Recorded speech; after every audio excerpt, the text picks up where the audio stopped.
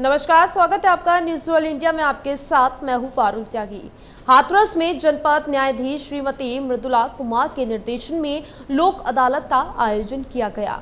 बता दें, इस दौरान हाथरस जिला न्यायालय में चल रही लोक अदालत में बीस हज़ार से ज़्यादा मामलों को निवारण के लिए सुना गया साथ ही लोक अदालत में आए मामलों को सुलह समझौता कर निस्तारण उनका किया गया। जनपद न्यायाधीश ने बताया कि सभी मामलों को निशुल्क सुना जाएगा और इसी समझौते के बाद किसी भी न्यायालय में इसे नहीं डाला जा सकेगा। तो हाथरस में इस लोक अदालत का आयोजन किया गया, जिसमें निशुल्क बीस हज़ार से ज़्यादा मामलों का निवारण किया गया है। जैसा कि आपकी जानकारी में है कि माननीय उच्च न्यायालय उच्चतम न्यायालय के निर्देश में ये राष्ट्रीय लोक अदालत का आयोजन आज ग्यारह नौ इक्कीस को किया जा रहा है।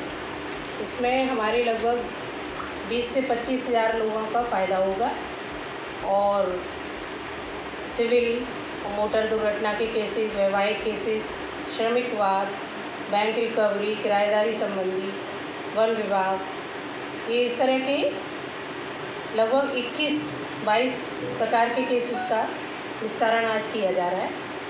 और सबसे महत्वपूर्ण बात यह है कि न्याय शुल्क इसमें नहीं, नहीं होता है। और जो भी पार्टी आके अपना प्रार्थना पत्र दे के समझौते के आधार पर अगर मुकदमा अपना ख़त्म कराना चाहता है तो उसे किया जाता है।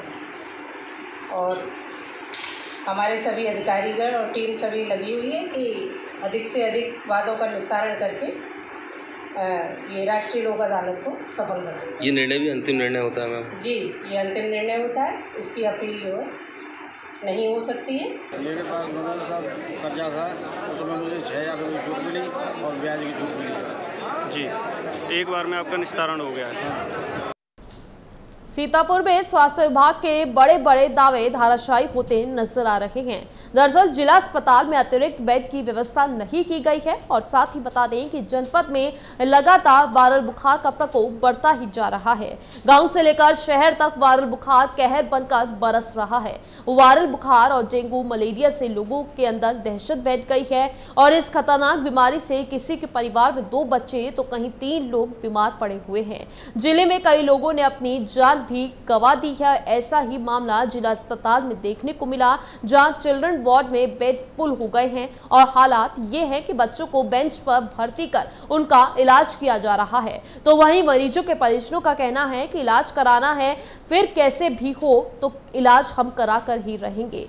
तो ऐसे में सीतापुर हो या यूपी के तमाम ज़िले हो वायरल बुखार से हालात जो है, हर तरफ़ खराब होते नज़र आ रहे हैं। तस्वीरें आप देख सकते हैं किस तरह से अस्पताल के बाहर भीड़ लगी हुई है और बच्चों का इलाज कराने के लिए हर कोई बेड की लिए इंतज़ार करता हुआ नज़र आ रहा है।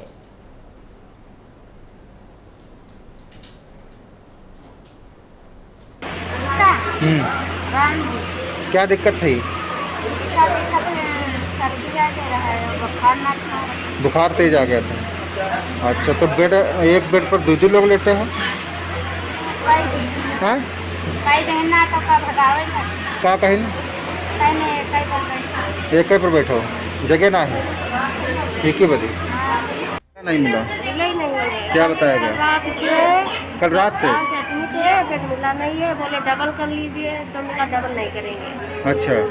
तो क्या बता रहा? बेड है नहीं यहाँ? हाँ, क्या बच्चे की दिक्कत थी? रात से उल्टी उल्टी हो रही थी खांसी हो रही थी हम्म। तो एडमिट कर लिया गया बाराबंकी में डकैतों के हौसले इतने बुलंद हैं कि पुलिस का इकबाल खत्म सा होता नज़र आ रहा है। देर रात ज़िले की देवा कोतवाली इलाके में डकैतों ने एक घर पर धावा बोल दिया और इस दौरान परिवार की दो महिलाओं और दो पुरुषों पर ताबड़तोड़ लाठियाँ बरसाई गई, जिसमें एक वृद्ध महिला की मौके पर मौत हो गई। वहीं तीन लोग गंभीर रूप से घायल हो गए, जिन्हें इलाज के लिए जिला अस्पताल में भर्ती करा दिया गया है। तो सीतापुर का ये पूरा मामला है, जहाँ पर बेखौफ बदमाशों ने तांडव मचाया है और ऐसे में जो है वृद्ध महिला को मौत के घाट उन्होंने उतार दिया है।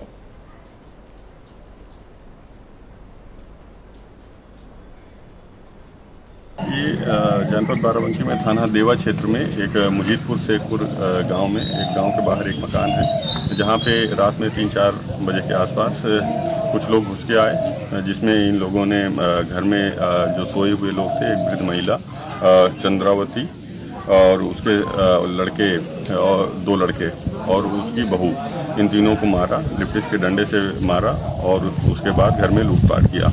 इस मारपीट की वजह से जो चंद्रावती जी थी, उनकी मृत्यु हो गई और तीन लोग घायल हैं, जिनको हॉस्पिटल भेजा गया है।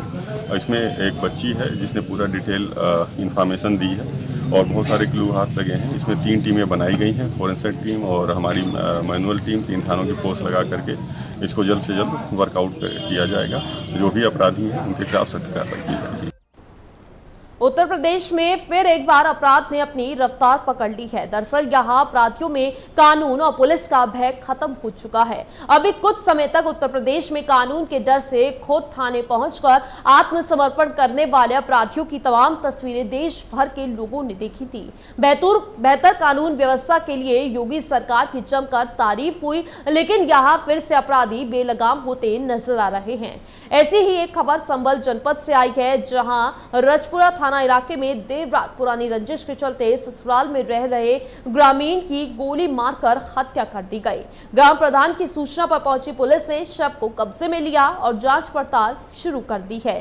वहीं घटना की सूचना पर पुलिस अधीक्षक चक्रेश मिश्र और अन्य अधिकारियों ने मौका, मौके का मुआयना किया और एसपी ने घटना के खुलासे के लिए चार टीम लगाई है। ये घटना उस समय हुई जब ग्रामीण अपने भाई और अ, सालों के साथ खेत पर गया था और वहाँ उसकी गोली मारकर हत्या कर दी गई।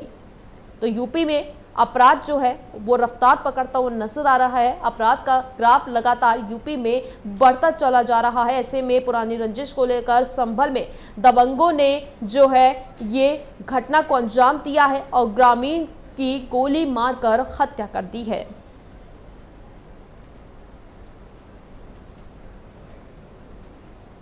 थाना रजपुरा के अंतर्गत ग्राम न्योरा से एक व्यक्ति इसकी उम्र 35 वर्ष है, नाम लालाराम, का शव आज एक खेत से बरामद किया गया है। सूचना प्राप्त होने पुलिस के द्वारा पहुंचकर पंचनामा और पोस्टमार्टम की कार्यवाही कराई जा रही है। यह व्यक्ति ग्राम अकबरपुर थाना गुन्नौर का रहने वाला था तथा ग्राम न्योरा में अपने ससुराली जनों के साथ में रह रहा था। ज्ञात हुआ है कि यह स्वयं एक मर्डर के मामले में जेल गया था और बेल पर पिछले कुछ समय से बाहर आया था और उसके बाद से अपने ससुराल में रह रहा था। मौके पर सभी पक्षों की जाँच की जा रही है।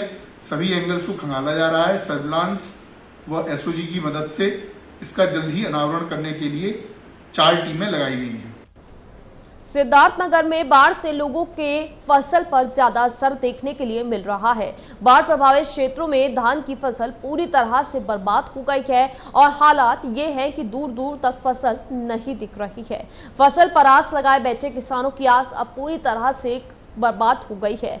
दरअसल किसानों की रोजी रोटी छीन ली, वहीं किसानों का कहना है, ना ही प्रशासन देखने वहाँ पर पहुँचा है और ना ही स्थानीय नेता, पीड़ित किसानों से मिलने पहुँचे हैं। और ऐसे में पीड़ित किसानों का कहना है कि सड़कों पर पानी था, लेकिन प्रशासन देखने तक नहीं आया और ना ही प्रशासन द्वारा लाभ ही मिला।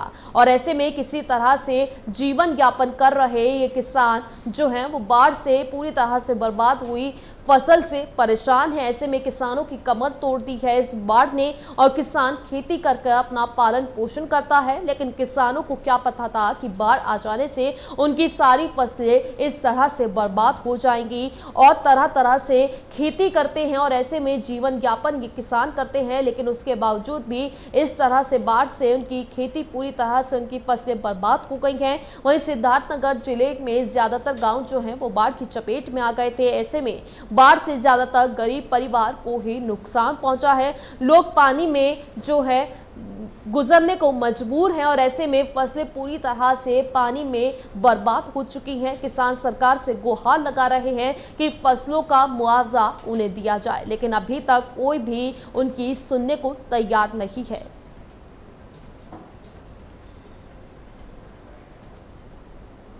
उठाई गई है गेहूँ ये जो है धान की फ़सल जो है कुछ भी नहीं है। और सत्रह अठारह बीघा जो है आप लोग धान बैठाए थे एक भी माना नहीं होगा। और हमारा खाली नहीं पूरे गाँव के लोगों का जो है नुकसान हुआ है। प्रशासन अभी तक आप लोगों के बीच में आई है? हमारे बीच में अभी ना हम लोगों के बीच में प्रशासन आई है। ना तो कोई सरकारी कर्मचारी आया है ना तो यहाँ के विधायक जी भी आए हैं। कोई नहीं। आप आपके क्या उम्मीद है? क्या लगता है? हमारी उम्मीद यही है कि सरकार से हमारी उम्मीद है कि सरकार हम लोगों का कुछ ना कुछ मुआवजा देगा। उसी उसी के भरोसे पे हम लोग टिके हुए हैं। और क्या नाम है? कम से कम पाँच एकड़ की खेती थी। कुछ भी नहीं बचा एकदम गल के ख़त्म हो गया। और भी बहुत सारे नुकसान हुए हैं। मतलब हमारे ही नहीं किसी का भी नहीं बचा है। प्रशासन द्वारा क्या सुविधा मिली आपको? प्रशासन द्वारा अभी तो कुछ भी नहीं सुविधा मिला है। एक पैसे का सुविधा नहीं मिला है। ना तो अभी कोई आया है गाँव में, किसी चीज़ का हाल चाल लेने की क्या है, क्या नहीं है। फिर सिर्फ़ आसरे में बैठे हैं, कोई आएगा। लेकिन अभी तक कोई आया नहीं। राकेश टिकैत नोएडा पहुँचे, जहाँ उन्होंने जिलाधिकारी सुहास एलवाई को सम्मानित किया और फूलों का बुके भेंट कर उनकी जीत की शुभकामनाएँ उन्हें दी। साथ ही राकेश टिकैत ने डीएम सुहास एलवाई को देसी घी भी भेंट किया। वहीं राकेश टिकैत के साथ दर्जनों कार्यकर्ता भी वहाँ पर मौजूद रहे और सभी ने पैरा ओलंपिक में पदक जीतने पर डीएम को शुभकामनाएँ दी। तो बता दें, तस्वीरें देख सकते हैं किस तरह से राकेश टिकैत ने गौतम बुद्ध नगर ज़िले को सम्मानित किया और ऐसे में सुहास एलवाई के लिए शुभकामनाएँ उन्होंने दी, देसी घी उन्हें भेंट किया और बुके देकर उनको सम्मानित किया।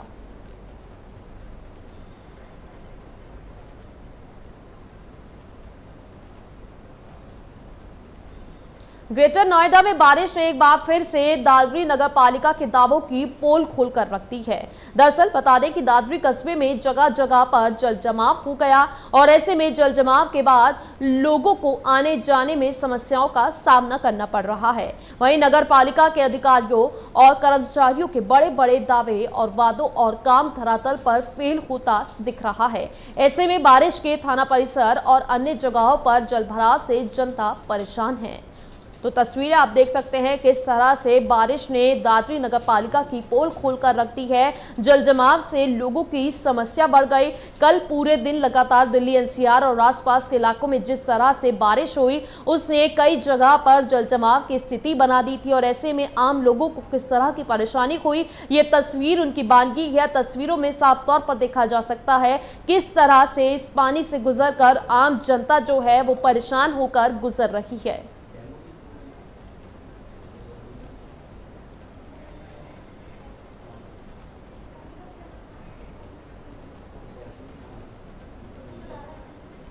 गुजरात में विधानसभा चुनाव से लगभग 15 महीने पहले शनिवार को राज्य के मुख्यमंत्री विजय रूपाणी ने अपने पद से इस्तीफा दे दिया। विजय रूपाणी पिछले छह महीनों में हटाए जाने वाले बीजेपी के चौथे मुख्यमंत्री बन गए हैं। ऐसे में गुजरात से पहले उत्तराखंड और फिर कर्नाटक में भी बीजेपी पिछले छह महीनों में तीन मुख्यमंत्री बदल चुकी है। विजय रूपाणी अब चौथे मुख्यमंत्री है और इससे पहले कब कब बीजेपी ने अपने मुख्यमंत्रियों को बदला है और उनकी जगह किन्हें मुख्यमंत्री बनाया है, इस रिपोर्ट में देखिए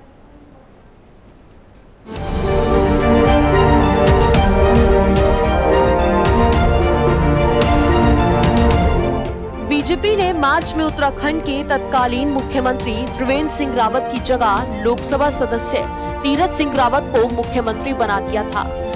जुलाई में मुख्यमंत्री बनाए जाने के चार महीने बाद ही तीरथ सिंह रावत को भी हटा दिया गया। और दो बार के विधायक पुष्कर सिंह धामी को मुख्यमंत्री पद की ज़िम्मेदारी दे दी गई।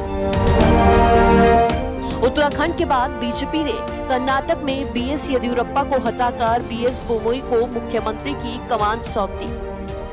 पार्टी के एक नेता ने दावा किया कि राज्य में नया नेतृत्व लाने के लिए गुजरात और कर्नाटक के मुख्यमंत्रियों को भी बदला जाएगा। उन्होंने कहा कि कर्नाटक में मुख्यमंत्री और उनके बेटे के खिलाफ भारी नाराज़गी थी। इसी तरह गुजरात इकाई में पार्टी के एक वर्ग द्वारा रूपाणी को हटाए जाने की मांग की गई थी, जिसमें कहा गया था कि उनके नेतृत्व में अगले साल के राज्य चुनाव जीतना मुश्किल होगा। वहीं उत्तराखंड में मुख्यमंत्री त्रिवेंद्र सिंह रावत को एक नया चेहरा लाने के लिए बदल दिया गया था, लेकिन तीरथ सिंह रावत को राज्य के मुख्यमंत्री के रूप में शपथ लेने के छह महीने के भीतर ही राज्य विधानसभा के लिए निर्वाचित होने में विफलता की वजह से हटा दिया गया था। गुजरात के एक पार्टी नेता ने कहा कि पार्टी में एक वर्ग से मुख्यमंत्री बदलने की चर्चा और मांग की गई थी, लेकिन किसी को उम्मीद नहीं थी कि इस तरह से खबर आएगी और हमें नहीं पता था कि इस्तीफा सौंपने के बाद इसकी घोषणा की जाएगी। गुजरात में मुख्यमंत्री के इस्तीफे से पहले कोई खास गतिविधि देखने को नहीं मिली और अचानक ही उनका इस्तीफा देखने के लिए मिला। वहीं दूसरी ओर मार्च में त्रिवेंद्र सिंह रावत की जगह लेने से पहले बीजेपी ने राज्य में दो सदस्यों को भेजा था, जिसमें छत्तीसगढ़ के पूर्व मुख्यमंत्री रमन सिंह भी शामिल थे, ताकि वो प्रतिक्रिया एकत्रित कर सके। और इसी तरह तीरथ सिंह रावत को बदलने से पहले भी बीजेपी के केंद्रीय नेतृत्व ने उन्हें राष्ट्रीय राजधानी बुलाया था और उन्हें संवैधानिक और कानूनी संकट के बारे में समझाया था। कर्नाटक में महीनों से सत्ता परिवर्तन की अटकलों के बीच येदियुरप्पा ने प्रधानमंत्री नरेंद्र मोदी और बीजेपी के शीर्ष नेतृत्व से मुलाकात की थी। येदियुरप्पा ने जुलाई में अपनी सरकार के दो साल पूरे होने के बाद इस्तीफा दे दिया था। Bureau report, news world India.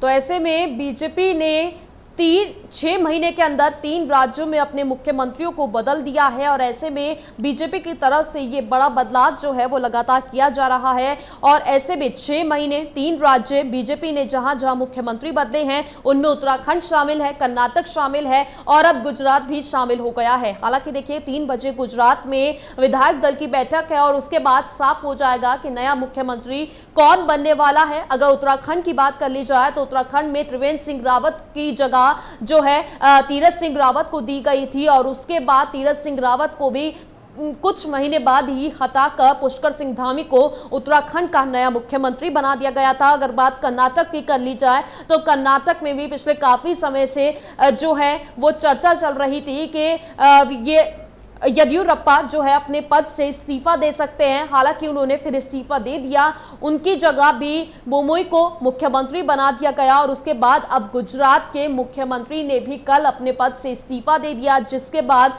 आज गुजरात के नए मुख्यमंत्री चेहरे का जो है ऐलान हो जाएगा। कौन मुख्यमंत्री बनने वाला है, ये बात साफ़ हो जाएगी। शाम तक कयास लगाए जा रहे हैं कि शाम तक साफ़ हो जाएगी। हालाँकि कई दावेदार हैं, कई नाम जो हैं वो आगे चल रहे हैं। उनमें मनसुख मंडावी दावियाँ हैं नितिन पटेल। ये वो नाम है जो अभी दावेदार की रेस में आगे चल रहे हैं लेकिन लगातार देखा जाए तो चुनाव काफ़ी नज़दीक है। अब कई राज्यों में और उसको देखते हुए बीजेपी ने छह महीने के अंदर ये इतना बड़ा बदलाव कर दिया है कि छह महीने के अंदर तीन राज्यों में बीजेपी ने मुख्यमंत्रियों को बदल दिया है। अगर उत्तराखंड की बात कर ली जाए उत्तराखंड में भी आ, कुछ महीने के अंदर ही तीन मुख्यमंत्री चेहरे जो हैं वो देखे गए और ऐसे में कर्नाटक में भी भी मुख्यमंत्री जो है बदले गए। उसके बाद अब ये बारी गुजरात की है। हालाँकि गुजरात का अब नया मुख्यमंत्री का चेहरा कौन होने वाला है, ये तस्वीर शाम तक साफ़ हो जाएगी।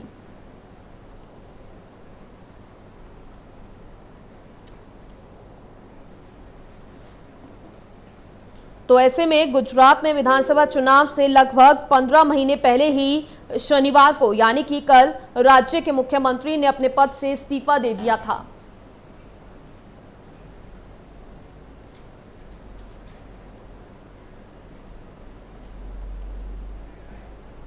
चलिए बीजेपी प्रवक्ता अश्वनी शाही हमारे साथ जुड़ चुके हैं। अश्वनी जी सबसे पहले बहुत बहुत स्वागत है आपका न्यूज़ वर्ल्ड इंडिया पर।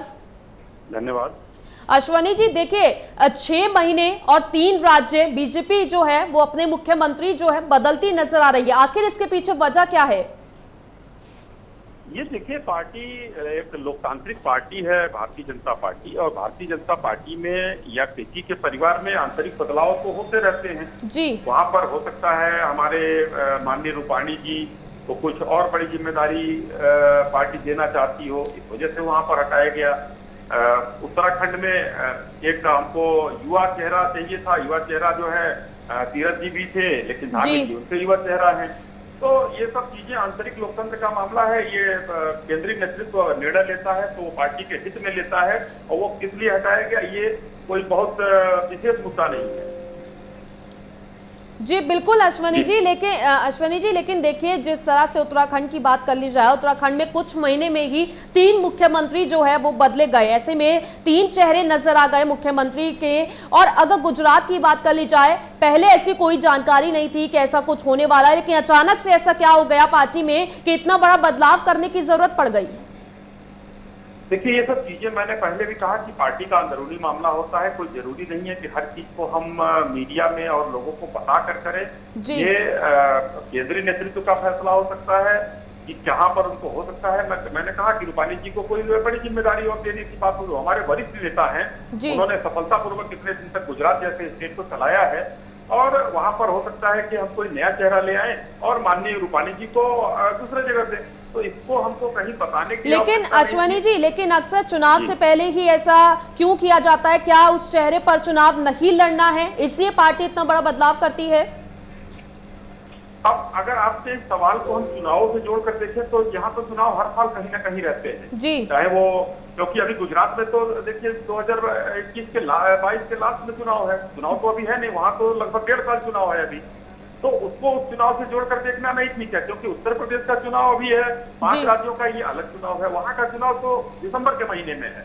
जी। तो इसको चुनाव के नज़रिए से न देखिए और हिंदुस्तान में आप देखिए तो हर साल कोई ना कोई चुनाव होता है कहीं जो है पंचायतों के होते हैं कहीं एमएलए के होते हैं कहीं एमएलसी का होता है कहीं एमपी का होता है तो ये चुनाव तो चलते रहते हैं। जी। इसमें कुछ नहीं इसको चुनाव से जोड़कर देखना बेमानी होगा।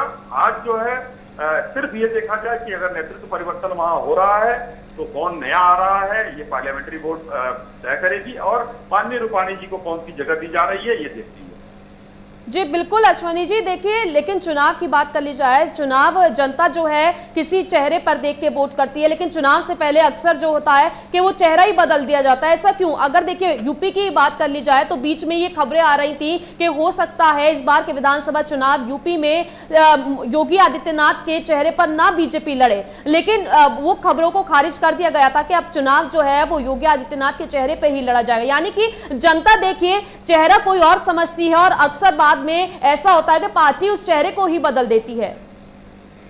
देखिए सर्वप्रथम मैं कहना चाहूँगा कि पार्टी बड़ी नहीं हो व्यक्ति बड़ा नहीं होता पार्टी बड़ी होती है। जी। और भारतीय जनता पार्टी विश्व की सबसे बड़ी पार्टी है। एक बार देखिए कितना तगड़ा मीडिया ने भी कयास लगाया हमारे विरोधियों ने भी चिल्लाना शुरू कर दिया कि इनके यहाँ नेतृत्व परिवर्तन हो रहा है ये आ रहा है वो आ रहा है क्योंकि उन विरोधियों को तो चाहिए अ, हमारे यहाँ किसी दूसरे दल में सत्ता पक्ष के दल में फूट पड़ रही लेकिन वो कहीं नहीं मिला उनको मीडिया को भी मसाला चाहिए वो भी नहीं मिला। कयास सब जगह के ध्वस्त हो गए और माननीय कर्मियों की मुख्यमंत्री आदित्यनाथ जी अभी भी वही है। लेकिन बिल्कुल, कहना चाहूँगा व्यक्ति से बड़ी पार्टी होती है और कभी भी जिसके चेहरे पर चुनाव लड़ा जाता है वो रहता है। लेकिन हमारे नेता माननीय अमित शाह जी माननीय नरेंद्र मोदी जी माननीय जेपी नड्डा साहब ये लोग चेहरे हैं योगी साहब चेहरे हैं हर शिवराज सिंह चौहान जी चेहरे हैं। तो ये सब चेहरों की कमी नहीं है हमारे यहाँ। हमारे यहाँ चेहरों की बहुत लंबी फहरिस्त है। ये चिंता करे, जो मुलायम सिंह यादव एंड संस की जो पार्टी है, Yadav Mahasabha Mayawati and private limited जो है उनको वो चिंता करे। बाकी जो ये दल निकल के आ रहे हैं वो चिंता करे। हम यानी कि अश्वनी जी अगर जनता मुख्यमंत्री से खुश नहीं है तो उसका चेहरा ही बदल दिया जाए। क्योंकि देखिए ऐसा अचानक से क्या हो जाता है कि उस मुख्यमंत्री का कार्यकाल भी पूरा नहीं हो पाता और उसे बदल दिया जाता है। उत्तराखंड की बात कर ली जाए और कर्नाटक की बात कर ली जाए गुजरात में भी यही हुआ। कार्यकाल भी पूरा नहीं हो पाता और इतना बड़ा बदलाव कर दिया जाता है। देखिए ये कैसे आप लोग कयास लगा लेते हैं कि मुख्यमंत्री से जनता खुश नहीं है और उसको बदल दिया गया? ये कयास है सिर्फ़। मैं बार बार कह रहा हूँ ये कयास है और इन कयासों में कोई दम नहीं है। कोई जनता हमसे खुश और नाराज़ नहीं है। खुश है जनता आशीर्वाद सबका हमको मिल रहा है। हमारा नारा ही है सबका साथ सबका विकास और सबका विश्वास। और सबका प्रयास उसमें माननीय प्रधानमंत्री जी ने जोड़ा है। हम। उसी को लेकर चल रहे हैं। कहीं की कोई नाराज़गी नहीं है। अगर एक लेकिन अश्वनी जी अगर जनता की नाराज़गी नहीं है कोई बात नहीं है फिर ऐसा क्या हुआ कि उत्तराखंड में कुछ महीने के अंदर ही तीन मुख्यमंत्री के चेहरे देखने को मिल गए? कहा जनता की नाराज़गी है? जरा पता जनता की नाराज़गी दिखती है पाँच सालों में एक बार। जी। जनता अगर खुश होती है तो हमको रखती है ना नाखुश होती है तो हटाती है। लेकिन फ़िलहाल भारतवर्ष के सबसे ज़्यादा राज्यों में जनता ने हमको आशीर्वाद दिया है तो हमको जनता से नाराज़गी का कोई वही नहीं है। जनता का तो आशीर्वाद मिल रहा है हमको। दिनों दिन हम बढ़ रहे हैं। अभी नियरेस्ट चुनाव हम देखेंगे। हम लोग, हमको लोगों ने जो है पश्चिम बंगाल में तीन से सतहत्तर तक पहुँचा दिया। जी। तो ये तो जनता का आशीर्वाद है। हम तीन की बिल्कुल अश्वनी जी जनता जनता यही चाहती है जनता आशीर्वाद देती है लेकिन उसके बाद ही चेहरा बदल दिया जाता है। यही मैं पूछना चाह रही थी। चलिए आपका बहुत बहुत शुक्रिया हमारे साथ जुड़ने के लिए। तो बीजेपी पिछले छह महीने के अंदर तीन राज्यों में मुख्यमंत्री पद का जो चेहरा है वो बदल चुकी है। और ऐसे में अब गुजरात का नया मुख्यमंत्री कौन बनने वाला है? ये शाम तक तस्वीर जो है वो साफ़ हो जाएगी। बीजेपी के चार मुख्यमंत्रियों ने इस्तीफा जो है वो दे दिया पिछले छह महीने के दौरान।